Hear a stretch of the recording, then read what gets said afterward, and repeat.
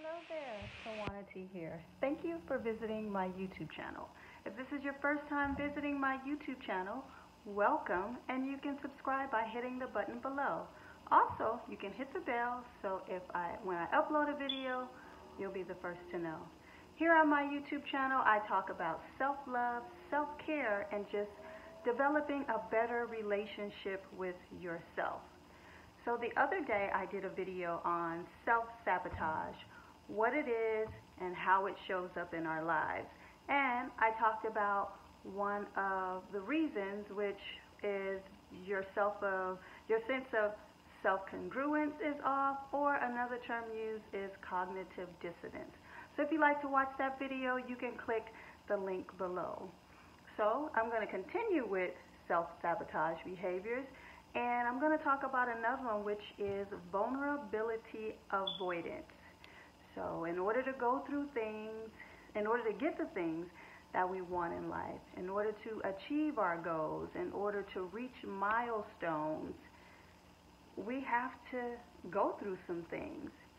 And going through those things takes us out of our comfort zone.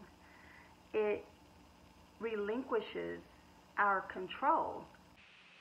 But we're human. And we are control freaks and control addicts.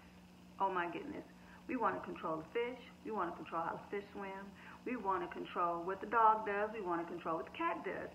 You want to control me. I want to control you. We want to control the wind. I mean, you get my drift, right? We want to control things. Why? Because it makes us feel safe. But with that, feeling safe, we stay stuck. So in order to have and to attain the things that are most fulfilling in our lives, the things that bring us the most joy, the things that are the most meaningful and are very important to us, we have to take risks. And taking those risks means we have to step out of our comfort zone. Stepping out of that comfort zone makes us feel vulnerable. And that causes a lot of us fear because now we're scared. We're scared that it may not work out. We're scared that we may look stupid. We're afraid that it may cause us discomfort. And most important, we're afraid that we'll get hurt. And then we'll have to deal with that pain and that disappointment. So it keeps us stuck in certain behaviors. And so consciously, we'll tell ourselves, you know, this is too much, you know, this is too difficult, I don't want to take this risk. And we kind of step back away from things. Or subconsciously, we start telling ourselves it's not going to work out. We start telling ourselves that it's too much. Why are you doing this? You start questioning everything. And in your mind, those excuses, we rationalize to reasons. And then we stay stuck in the same kind of behavior patterns and, and never get to fully achieve what we really want. So, uh, what this usually tells tells us is that deep down inside, we don't really feel that we're worthy of having that great romantic relationship or even those great friendships.